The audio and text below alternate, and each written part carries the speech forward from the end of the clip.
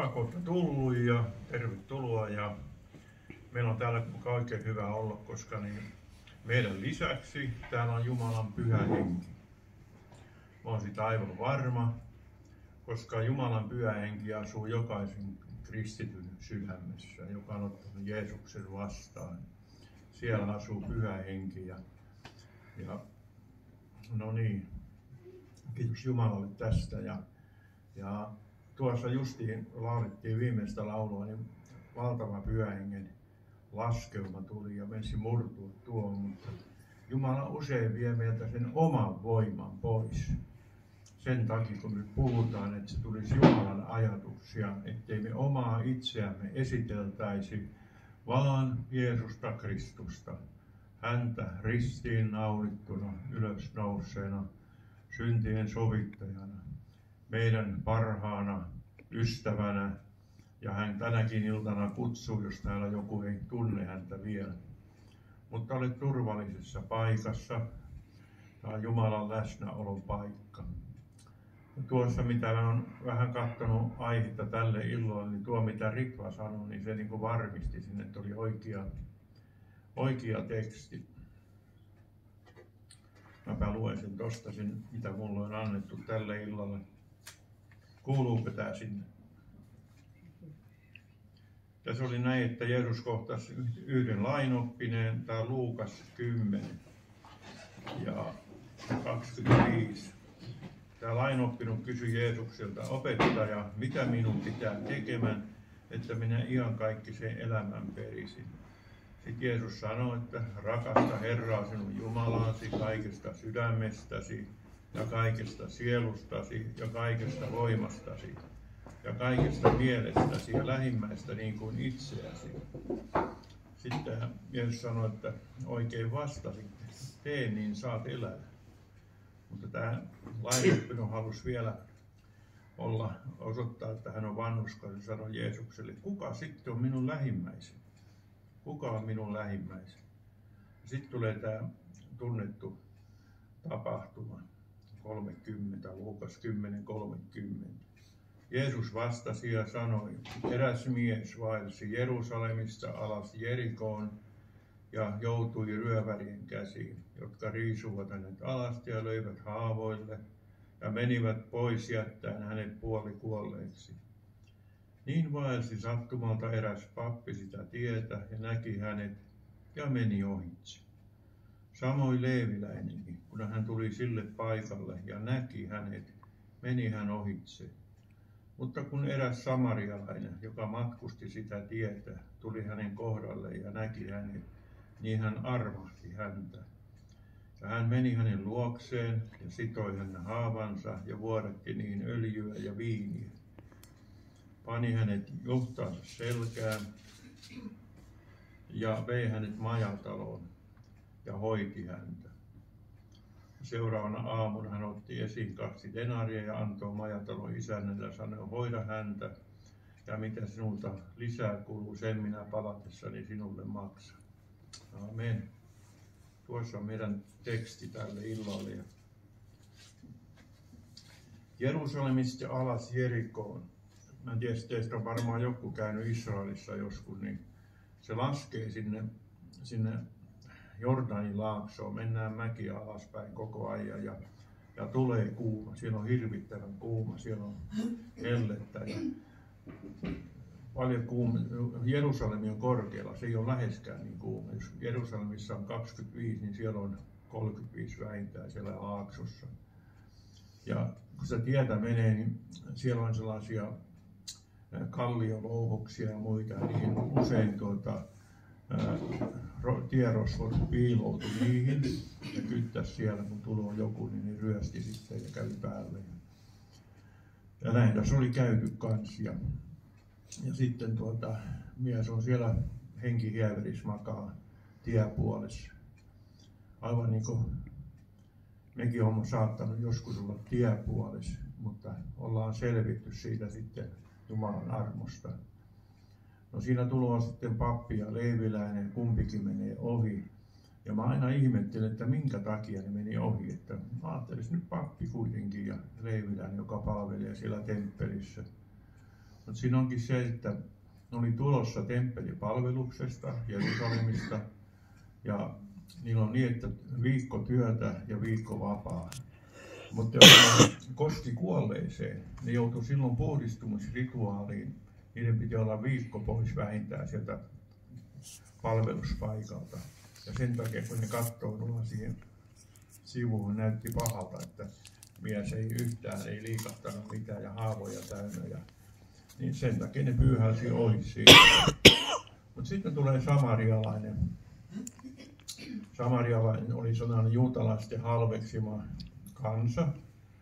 Asui siihen aikaan siinä nykyisen Japan tai, tai tuota, niin, Välimeren rannalla. Ja, ja muun muassa se muistuttaa sen Syykkarilla, Syykkarin kaivo, siellä oli se vaimo, niin se oli samarialainen kanssa. Ja, no tämä samarialainen tulee ja pidättää siihen ja näkee, että kyllä siellä henki on. Ja, no se alkaa sitten hoitamahan sitä ja sitten öljyä ja viiniä. Ei siinä aikaan ollut mitään ilonpuhdistusaineita, ei ollut vaastaria.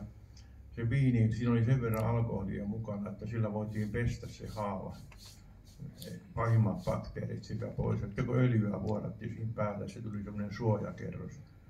Ja siinä oli jo, hän oli hyvän aikaa siellä maannut, niin siinä oli jo kärpäset munimassa niin verisiin haavoihin. Ja sitten olisi voinut tulla paha tulehdus.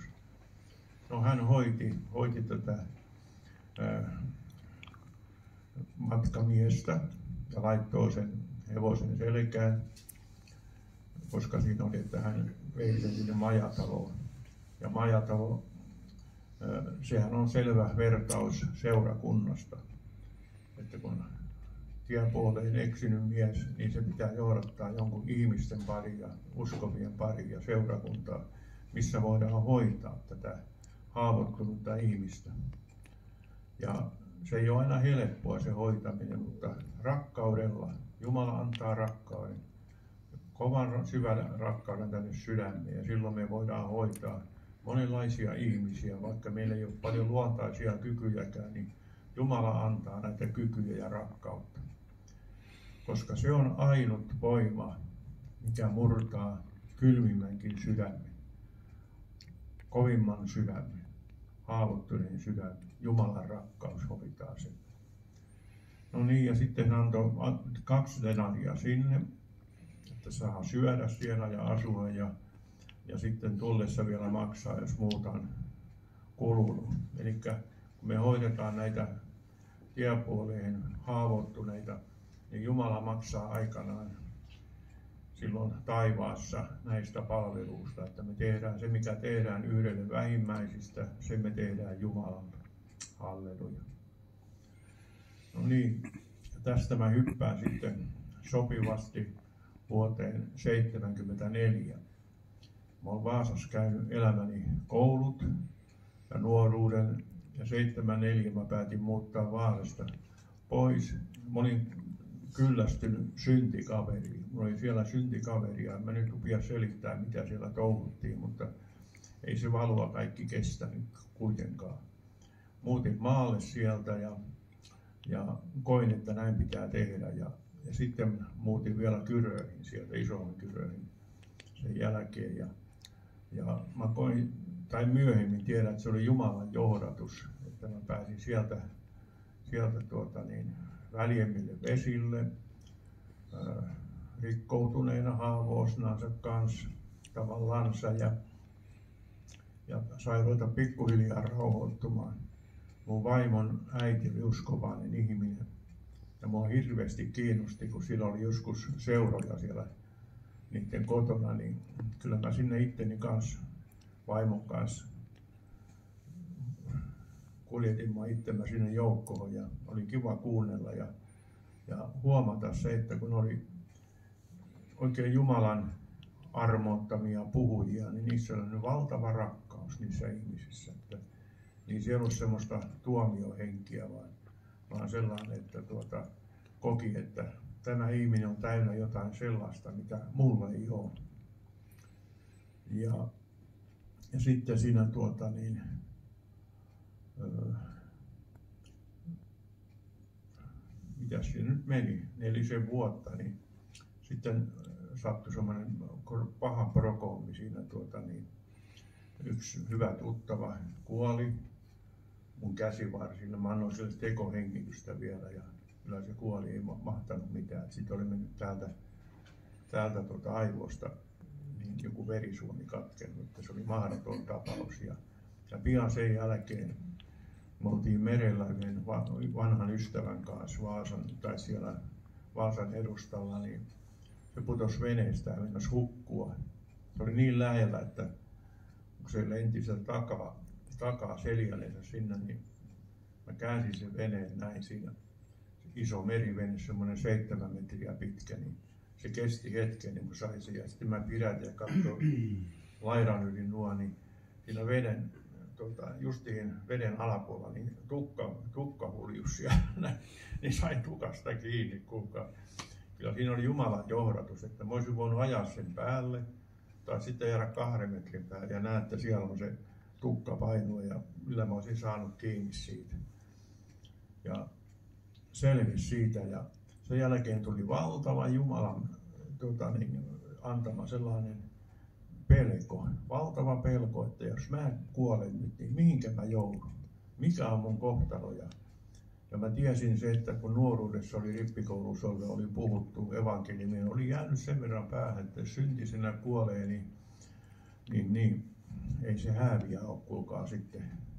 Onko siellä valakia vai mitä siellä on, mutta kuitenkin se ei ole häävipaikka. Ja, ja se kuoleman pelko ja, ja sitten mä illalla, siellä lähellä oli tuota, niin, helluntai-seurakunta ja siellä oli iltaisin kokouksia kuudelta, niin oli pimeä, siinä oli kiva livahtaa, että ei ihmiset kukaan ei nähnyt.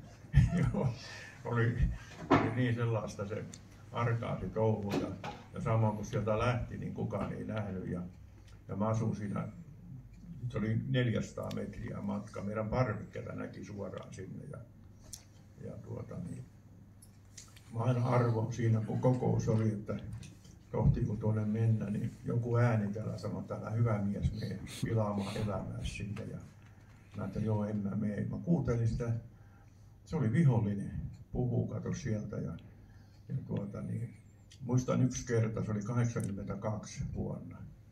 Menin kokoukseen ja oli hyvä kokous, en muista kuka siellä puhuu, mutta niin siellä kysyttiin, kuka haluaa antaa elämänsä. Niin mä että saanko käden ylös? En millään saanut sitä penkin etureunaa puristin kahdella kädellä että en nosta kättä. Ja kuoro laulu aivan ihanasti, semmoinen pyhähengen ihmeellinen läsnäolo siellä.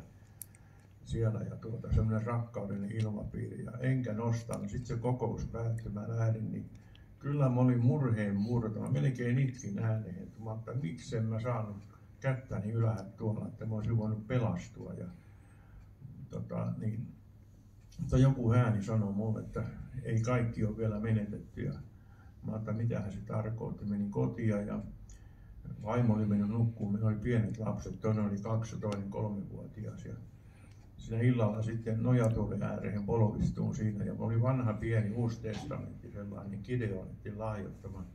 Siellä viimeisellä sivulla oli sellainen kohta, minkä sai panna nimen näin, että tänä päivänä haluan antaa elämäni Jeesukselle. Siellä panna päivämäärä ja nimen. Ja mä ajattelin, että no niin, että toivo ei ole menetetty. Mä pistän nimen tähän, kyllä kai Jumala sen näkyy sitten, että kun mä sydämestäni haluan pelastua. Ja mä menin just ruveta kirjoittaa, joku ääni sanoi, että älä, älä hyvä mies kirjoita. Mä ajattelin, kirjoitan. Kun sun elämä menee, taas se sama ääni. Mä ajattelin, tuo ei ole kyllä Herran ääni nyt. Ja sen takia minä kirjoitan. Sitten se sanoi, että kirjoita edes oikein pienen. ja kirjoitin pienellä. Se on, se on niin pientä kuin kuulee, saa tehtyä. Ja panin siihen, oliko se 16.4.82 ja näin. Ja seuraavana pyhänä oli Alpo Renko puhumassa, niin se kutsuu siellä esille, niin mä menin esille sitten. Mä sanoin, että, että mä oon antanut elämäni Herralle, niin voiko se rukoilla mun puolesta vielä synnit anteeksi. Niin sanoin, ilman muuta. Ja siitä pääsi matkaan. Ja anteeksi nyt, että mä rupesin näistä omista kertoa, mutta mä, mä koen niin, että pitää nyt kertoa. Ja siitä lähti sitten reisu matkahan ja, ja sitten mä olin röökissä kiinni. Mä että kuinka tästä päästään. Viinan kanssa ei ollut mitään ongelmia, mutta tupakka oli ja ja tuota niin, äh, oli vuosi mennyt, mä täytyin pyhällä hengellä ja sitten mun kaveri sanoi, että että se on kuule oikeasti usko, että se on täytynyt pyöllä hengellä, koska sä poltat. Mä ajattelin, mitäs tää nyt sitten on? Rapaatsia rabadiu, kolassa loro. Mitäs tää sitten on? Niin sanoi, että jos sä vaan itse koitat, mä oon täällä hyvä mies. Se oli uskova kaveri vielä ja se kyllä masensi niin paljon, mutta mä ajattelin, mennään eteenpäin, että, että kiitos Herra siunaa häntä. Ja, ja, tuota, niin, ja sitten kyllä kasteellakin kävin, oli sen verran irti siitä, että pääsi kasteelle. Ja, ja siitä alkoi se seurakunta touhu sitten vanhana muusikkona, musiikkimiehenä, niin tietenkin kuorolla soittamaan. Sitten mä perustin lauluryhmän ja, ja sitten olin todisteli ja näin. Ja, ja sitten rupesin radiotyötä jopa tekemään jonakin vaiheessa. Ja, mutta mä koen koko ajan, että mikään näistä ei ollut se oikein se homma, minkä Jumala oli mun tarkoittanut jollakin muullakin saattaa olla sellainen, että mikä se mun homma seurakunnassa on tai uskovien yhteydessä. Että, että saattaa niin kysellä, mutta mä sanoisin näin, että kyllä Jumala sen aikanaan ilmoittaa ja kouluttaa siihen tehtävään, että on sitten valmista, kun se oikein niin tulee päälle se työ. Ja tietenkin se musiikki mulla meni siinä, mä kanssa lauluja säveltänyt niin kuin ja, ja vieläkin sävellä. Ja ja tuota, niin varmaan sata laulua ainakin tein. Ja, ja tuota, aina silloin tällöin tulee Jumala antaa uuden laulun. Ja, ja, mutta sitten tuota, sekään ei ollut se, mä kyllä jotakin muutakin on tämä musiikki. Ja, ja sitten mä muistan uskon tulon alkuaikoina, niin mä oon aina tullut ihmisten kanssa hyvin juttuun ja joku sanoi, että mulla on sellaista empatiaa, niin ja sitten Herra sanoi, että mulla on kuulemma empatia, niin musta tulee varmaan hyvä sielunhoitaja. Niin Herra oli vähän eri mieltä siitä, että ei ollut valmis siihen hommaan ja antoi niin vaikean tehtävän mulle. Että 5-6 vuotta takkusin yhden ihmisen kanssa ja oi hyvänen aika. Sanoin jo Herralle, että, että ota mun pois tästä hommasta, että mä tunnustan, että musta ei ole tähän näin. Ja, ja no Herra sitten vapautti siitä, siitä hommasta. Ja, mutta myöhemmin hän on kyllä sitten kouluttanut siihenkin, että on ollut sielunhoitajanakin viime vuosina kyllä sitten. Ja, ja samoin sitten julistushomma, että siihen Jumala niin tähtäisi sitten julistamaan Jumalan sanaa, tuomaan sellaista sanomaa taivaasta, profetaalista sanaa ja, ja mitä milloinkin hän tahtoo antaa, niin kuin, niin kuin tässäkin, tässäkin illassa. Kiitos Herra, että Sä näet täällä jokaisen ihmisen, Herra. Kiitos, että haluat siunata jokaista. Näet jokaisen sydämen. Näet jokaisen tarpeen. Herra, mulla ei ole mitään antaa näille ystäville, jolle sinä anna minulle, että mä saan tuoda sen esiin. Kiitos Herra, että siunaat, siunaat tällä tavalla tämän kokouksen tästä eteenpäin. Joo, sitten tuota niin, siinä on jossakin vaiheessa tulee ihmisen elämässä, tulee sitten uskoelämässä, tulee sellaisia vaiheita, että, että ruvetaan niin arpomaan sitä tehtävää, että kyllä tuo on mun homma ja ruvetaan väkisin pyrkimään jonkin tiettyyn, tiettyyn työmuotoon tai tällä tavalla. Ja, mutta sen näkee, että se, se, ei, se ei suju. Se pökkii ja pökkii ja pökkii ja, ja tulo, ylimääräisiä taisteluja uskossa. Tulee sellaisia taisteluja, mitä Jumala ei ole tarkoittanut. Kun meidän elämässä on aina tärkeää, että, se, että me saataisiin tiedä se Jumalan tahto, mitä hän on suunnitellut meille, kun hän on kuitenkin jokaista varten, jokaista varten on suunnitellut oman tehtävän ja hän kouluttaa siihen ja vie. Ja, ja ne koulut tota, ei ne ole sellaisia kuin yläasteella, että siellä opettaja puhuu ja sitten vähän jalat pöydällä siellä odotella, vaan Jumala panee elämän kautta meitä kouluun. Ja monien tapahtumien, monien, sanotaan niin kuin sana sanoo, että monen ahdistuksen kautta teidän pitää tulla Jumalan valtakuntaan. Että ahdistuksia, koetuksia tulee ja monenlaisia tapahtumia ja me joudutaan paljon rukoilemaan näissä tilanteissa. Ja, mutta silloin kannattaa aina muistaa, että olen Jumalan kämmenelle itsemme antanut, niin siinä sitä ollaan. Hän valmistaa sitä saviastia siinä ja hän ei sitä pudota pois koskaan. Tämä on mun lempi homma tämä, että Jumala ei pudota tuosta. Se me itse hypätään. Sitten kun hypätään, niin hän ottaa ilmasta kiinni, niin kuin Kuistin Yrjö, vaasalainen julistaja. Se on yleistunut asia. Se, se puhuu niin lujaa ja nopeaa, että sillä kerran lenti hampaat suusta, tekohampaat, niin se nappasi ilmastani kiinni näin ja löi suuhun ja jatkoo puhetta. Kansa aivan klippuras nauroo siellä ja siinä, että mitä ne niin nauraa. Mutta näin se on, että, että Jumala nappaa kyllä kiinni. Että kyllä jokaisen, mäkin olen 40 vuotta ollut uskossa, niin vähän ylikin, niin tuota, tulee semmoisia elämänvaiheita, että, että tuota, vihollinen yrittää meitä viedä kauemmas Jumalasta. Hän yrittää meidän mieleen kyllä sellaisia asioita, jotka eivät Jumalan mielen mukaisia, jotka vie meiltä energiaa ja voimaa ja ynnä muuta. Ja niissä kannattaa niin olla varovainen, ettei lähde kaikkiin mielitekoihin. Koska niissä ei ole siunausta. Niistä tulee raskasta, raskaita päiviä tällaisten tapahtumien jälkeen. Että kannattaa rukoilla aina, että Herra, mikä on sun tahtosi missäkin asiassa. Herra, kohtaa mua. Anna sinulle minun, sinun rauhasi. Anna sinun johdatuksesi. Ja hän, joka on aloittanut hyvän työn, hän on myös vievä sen päätökseen, että sä voit luottaa siihen. Ja kun aikanaan se oma tehtävä sitten täydellä höyryllä lähtee käyntiin, niin silloin tietää, että nyt jes, tätä varten kaikki nämä asiat oli, mitä joutunut menemään läpi. Ja silloin pystyy kiittämään sellaistakin asioista, mistä oli Jumalalle vihainen. Että Herra, miksi tällaista, miksi tällaista ja mitä pahaa mä oon tehnyt. Näitä kysymyksiä löytyy, mutta silloin alkaa kiittämään. Kiitos Herra siitäkin ahdistuksesta, kiitos siitäkin, siitäkin asiasta, minkä kanssa joudun painimaan. Ja kaikille tulee niin kuin tarkoitus. Jumala ei tee koskaan virheitä. Hän liikkuu ajassa näin. Hän näkee etukäteen meidän elämää. Hän tietää, mitä siellä takana on, minkä hän on uskovan elämästä pyyhkässyt pois. Ei enää muistakaan niin.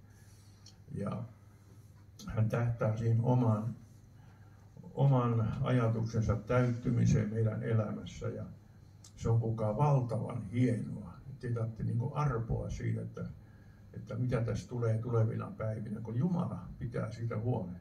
Hän pitää siitä huolen. Ei tarvitse sillä tavalla huolestua. Ja jos on tunne ihminen, niin sitten on vähän enemmän vielä vaikeuksia. Että, mutta kun sana ohjaa, että silloin ei kannata tunteisiin luottaa. Tunteet on hyviä ja on hyvä joskus tuota, tunteillakin, mutta se ei saa olla johdattamassa meitä koskaan. Ja sanoisin vielä, että ää, monikin teistä on saanut profetioita sieltä ja täältä. Ja ei siinä kannata hermostua, vaikkei ne ole vielä kaikki täyttynyt. Osa täyttyy ajan päästä. Voi tulla sellaisia, jotka ei ole niin Jumalan, Jumalan antamia. Sellaisiakin voi tulla, mutta tärkeintä on, että juottaa, luottaa Jumalaa. Hän vie meidän asioita eteenpäin ilman profetioitakin, ettei ei ole siitä kiinni kaikki. Ja sitä Jumala arvostaa, että me osaamme arvostaa häntä kaikista huolimatta kaikissa asioissa. Halleluja, Kerabassa, Lada Boros ja Kitandorossa. Herra, sinun rakkautesi ja sinun ihmeellinen läsnäolosi. Aleessa Kodore, Herra, vallatko se meitä tänä iltana meidän sydämiämme.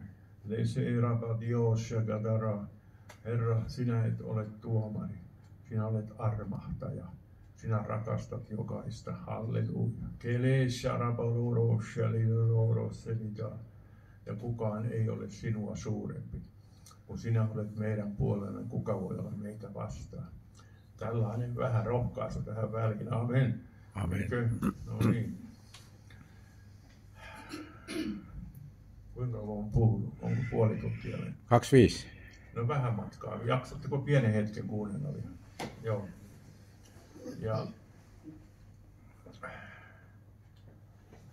tuossa mä viime aikoina vähän sairastellutkin, ja tuota, niin, mutta niissäkin hetkissä niin mä luotan täysin Jumalaan ja se on, hän tietää kaiken meidän elämästä. Hän tietää pientä piirua myöten aivan kaikki, kun sana sanoo, että hän on laskenut hiuksetkin, niin se kyllä todella pitää paikkansa. Tuossa on mulla yksi rukousystävä on tuolla Heinolassa, niin pari viikkoa sitten rukoiltiin ja, ja tuota, niin, olin tänään kontrollissa sairaalassa ja olin verikokeessa sitä ennen ja, ja tämä ystävä pari viikkoa sitten sanoi, että älä mieti sitä verikoetta, kyllä Herra sen tietää, missä mennään. että hän tietää senkin, mitä me ajatellaan. Ajatellaan, kuinka se on turvallista. Kuinka se on turvallista. Hän tietää kaiken meistä ja, ja haluaa auttaa. Hän ei ole tuomari. Niin kuin muistattaisin syntinen nainen tuota, kun fariseukset oli tuonut sen sieltä, se oli jäänyt, jäänyt tuota haureudesta kiinni ja sitä oltiin kivittämässä siinä pikapuoli ja Herra sattuu paikalle sitten ja, ja siinä oli kuuluisa tilanne, että, että joka teistä on synnitön, niin heittäkö ensimmäisen kiven ja, ja mä uskon, että Jeesus pystyy niiden mieleihin vaikuttamaan, niin se tavallaan meni kaikki läpi nämä ja sanoi, että sulla on sitä ja sulla on sitä ja sulla on sitä. Niin kuin hänkin tietää, jos meillä on joku asia, mikä meitä vaivaa, niin kyllä Herra sen tietää ja yrittää auttaa sitä pois. No niin, Jeesus sanoi, että, en, että nämä eivät tuomitneet sinua, kun ne lähti pois, niin Jeesus sanoi, että en minäkään sinua tuomitse. Mene, äläkä enää syntiä. Siinä olisi voinut meikäläinen, että tuollainen nainen, että katsoisi nyt vähän minä kuljet ja pitääkö tänne joka, joka tuota luukkuun mennä. Ja, että, niin kuin voitaisiin ihmisenä helposti moittimaan, mutta Herra että en minä sinua tuomitse. Koska hän tietää, että silloin kun meidän elämässä on vaikeita asioita, meillä on asia, missä me saatetaan langeta usein, niin tulee hirviä olo sitten, että Herra tulee ja puno, kuuma kivi niskaan tuolta taivaalta tai jotakin kauhia tapahtuu. Mutta Jeesus on kantanut sen lankeemuksenkin, sen synnin. Ja, ja hän sanoi, että mene, mutta älä enää tee sitä. Että hän lohduttaa sillä tavalla, että koitetaan vielä, että ei anneta periksi, että koitetaan vielä. Että, että kyllä, ja niin kuin Herra sanoi kerran, että kaikkea sellaista ylimääräistä, mitä meissä on, niin, niin aikanaan tippuu niin kuin syksyllä lehdet puusta. Keltaiset lehdet näin. Ne tippuu vaan kaikki se ylimääräinen, mikä ei ole Jumalan mielen mukaista. Eikö se ole ihana kuva? Amen. Amen. Kiitos Jumalalle. No niin. Lasido, Shivando, Rossa, Hän on täynnä laupeutta, armoa, rakkautta, hyvyyttä jos Jeesus tulisi tähän huoneeseen nyt fyysisessä olemuksessa, että meidän silmät saisi nähdä, niin hän kulkisi nämä kaikki pöydät läpi ja halaisi jokaista, että, että lapseni, kuinka olet jaksanut? Kyllä hän tietää, miten on jaksettu, mutta hän voi kysyä. Hän on ihana.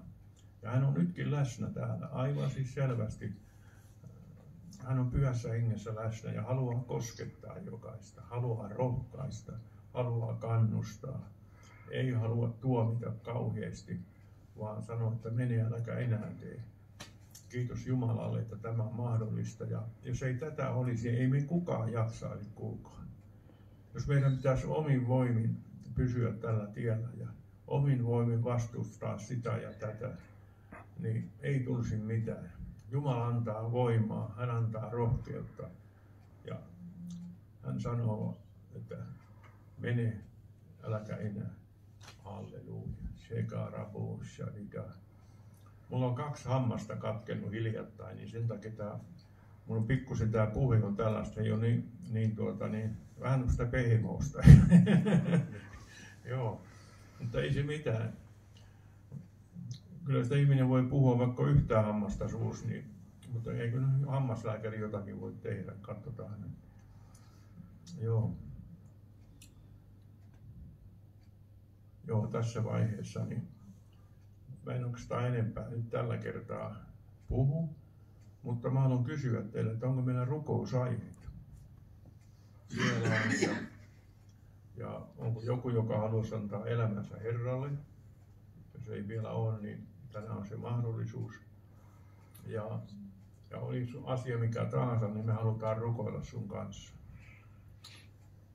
Joo, se, tuolta on pyydetty esirukossa tämmöisen uskovan sisaren niin kuin maksan puolesta, että Joo. hänellä on öö, maksa huonossa kunnossa ja sitten oli toinen öö, rukosaaja oli yhden nuoren, nuoren niin sisaren niin puolesta. Joo. Muistetaan maksasairasta ja sisä, nuorta sisarta. Joo, kiitos Herra. Herra, oot ihmeellinen ja Herra, me kiitämme siitä, että me saamme lähestyä sinua rukouksessa. Herra, sinä olet laskenut silmäsi tänne meidän keskelle ja sinun korvasi kuulee, mitä me sinulle haluamme kertoa. Herra, ensin tuon nämä esirukousaiheet, mitkä annettiin tuolta näyttää maksasairaan. Herra, kosketa pyhässä hengessä. Herra, mä tiedän, kun sä lasket, Herra. nimessä. Halleluja. Lasket näkymättömän käteni siihen, niin tämän taudin Halleluja. täytyy väistyä Jeesuksen Kiitos. nimessä ja veressä. Ja kiitos Herra, näet tämän nuoren, nuoren naisen, näet, näet hänen asiansa ja Kiitos, haluan Jeesus. ilmestyä myös Halleluja. hänen elämässään. Kosketa häntä nyt Jeesus siellä, missä Jeesus, hän on. Kiitos Halleluja. Herra, että teet sen. Halleluja. Ja Herra, anna meidän kuulu hänestä hyvä sanoma seuraavalla kerralla, Amen. että Herra on Amen. koskettanut. Halleluja. Ja Herra, sä näit kaikki kädet tässä, jotka pyysivät sinulta esirukousta. Herra, vaikuta ja kosketa. Ja Herra, kiitos. sinä näet myös kaikki nämä, mitä ei pyydetty esirukousta. Monella on monenlaisia asioita siellä mielessä. Tarvii uskon vahvistusta, tarvii johdatusta, Kiitos, tarvii pikkuremppoihin apua. Ja tarvii Herra sellaista kaikkea, mitä sinä et tässä nyt ilmoita, mutta sinä tiedät Herra, mitä kukin tarvitsee. Jeesuksen nimessä Herra mä pyydän, kosketa nyt. Jeesuksen nimessä. Halleessa para. Shando, Shando, Korosha. Kiitos Jeesus, että kohtaa. Halleluja. Halleluja. Kiitos Herra, jäät siunaamaan tämän loppukokouksen vielä. Jeesuksen nimeen. Amen. Amen.